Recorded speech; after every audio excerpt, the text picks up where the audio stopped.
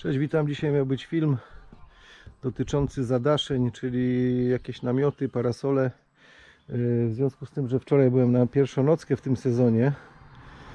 yy, Po pierwsze nie mam melodii i sił, po drugie ostatnie wichury uszkodziły tutaj trochę płot. Musieliśmy dzisiaj obsadzić te słupki. Mm, Także powiem troszkę o tych dwóch, dwóch rodzajach parasoli, jakie występują. Yy, Mam relację z wczorajszej nocki, jest pierwsza ryba. Jeśli ktoś jest ciekawy, musi pozostać z nami do końca. Yy, Także parasole wyróżniamy dwa rodzaje. Jeden to jest parasol mm, bez boków, drugi parasol z bokami. Ja tu mam balzera. Jest zarówno jeden, jak i drugi jest yy, o średnicy 2,5 metra.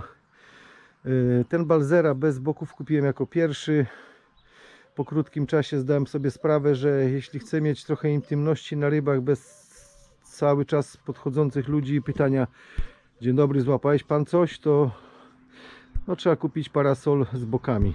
Yy, Tak właśnie zrobiłem, jest to kormoran, moim zdaniem najlepsza opcja na rynku. Yy, Mówię jakie są plusy i minusy. Plusem na pewno jest to, jeżeli ktoś oglądał mój film, w którym było pokazane, yy, tam był test wózka transportowego Shimano, może sobie ktoś zobaczyć lub wrócić do tego, albo pamięta, albo wróci do tego filmu, jak silny wiatr działał na ten parasol i on dawał radę. No przy takim naprawdę bardzo silnym wietrze. Minusy. Oczywiście szybki tutaj są z boczku. One są porobione z bardzo słabego materiału, przez to no, moim zdaniem za bardzo plastikowy, a nie bardzo gumowany. Popękały. On ma ponad rok czasu ale nic z tym nie robię, nic z tym się nie zrobi, to nie jest wymienne. Następnym pokażę jeszcze drugą stronę również, także to nie jest jakaś fanaberia, że z jednej strony, z obydwu stron po prostu to popękało, są dziury. Nie wnikam. Yy, Fajną sprawę, wolałbym je mieć niż ich nie mieć. Fajną sprawą jest, jeżeli siedzisz tutaj, możesz obserwować sobie z boku, no chociażby czy ktoś nadchodzi, czy wyskakujesz spod parasola, przyciąć, no i nie chciałbyś na pewno zderzenia z człowiekiem. Yy, Drugą, drugą, drugim minusem jest yy, brak właściwych śledzi, czyli te śledzie, które od razu kupicie, tu akurat yy, wyłożyłem wkręty, nie mam tej torby z śledziami, czyli tam są zwykłe, mm, słabe szpilki, a nie śledzie, więc od razu mówię, i przy takim parasolu trzeba kupić oddzielnie sobie właściwe, normalne śledzie, a te szpilki nie używać, bo po prostu jest to bez sensu. Za krótkie, nie trzymają. Yy, Teraz yy, druga sprawa, to trzeba się zaopatrzyć w taki oto lub bardzo podobny stojak. E, Proszę, czy stojak? Można nazwać to stojak. Ponieważ żaden z tych parasoli, o tak to wygląda, żaden z tych parasoli nigdy nam się nie wbije super dobrze mm, w podłoże, jakie by nie było. Także jeśli ktoś narzeka, że w parasolach jest po pierwsze słabe śledzie, ma rację. Jeśli ktoś narzeka, że nie można go wszędzie wbić, również, również ma rację. Chodzi tylko o to, że y, trzeba to dokupić i nie marudzić, nie narzekać. Y, tutaj mam taki parasol. Kasiek, możesz y, tutaj... O, jeżeli ktoś nie ma tego lub tego, zabierzcie jakikolwiek. Na przykład taki. Zawsze to jest lepiej niż nic. Zawsze taki parasol każdy powinien mieć w wozie, jak nie ma y, któregoś z tych.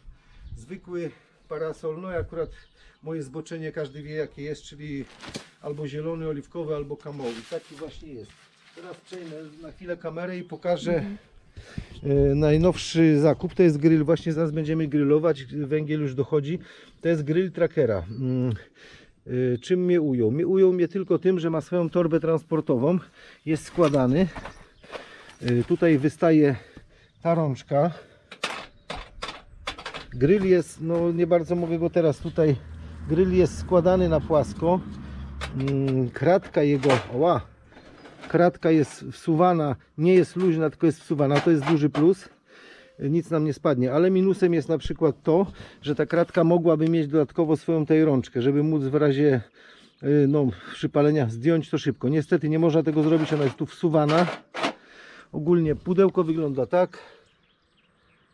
Ale ogólnie taki grill, y, no każdy ma zawsze problem. Jak zabrać grill nad wodę, czy to w jakichś torbach, workach. A tutaj on ma swoją torbę i tak jak mówię, z tej dziurki wystaje rączka. Myślę, że grill godny polecenia. Y, A teraz będę montował dodatkowo film właśnie z wczorajszej wyprawy nocnej. Pierwsza, tak jak mówię, w tym sezonie. Y, No od razu powiem, jest lin. Tak jak mówiłem, nie karp, tylko lin będzie pierwszy na tej dzikiej wodzie. I tak to jest końcówka y, marca, także mi się wydaje, że to jest y, no, duże osiągnięcie. Lin pod 50 cm, 47,8 wagi tam kilo 700, kilo 800. Mm, Także mam to nagranie nocne. Zobaczycie czego wczoraj, y, co mi się udało wczoraj złapać. Na razie, cześć. Chciałem jeszcze dodać odnośnie tej wyprawy nocnej, że nie miałem parasoli, tylko miałem wczoraj właśnie namiot.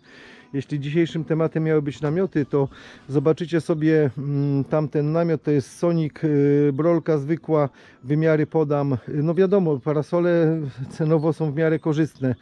Natomiast namioty to, to jest koszt od 1200, 1000-1200 zł się zaczyna, kończywszy na jakichś foksach czy anakondach, które potrafią kosztować 2,5 do 3 klocka. To jest y, masakryczna cena, ale myślę, że jak ktoś y, zaczyna z zadaszeniami, myślę, że na początek wystarczy dobry parasol, czyli na przykład kormorana, ale z bokami.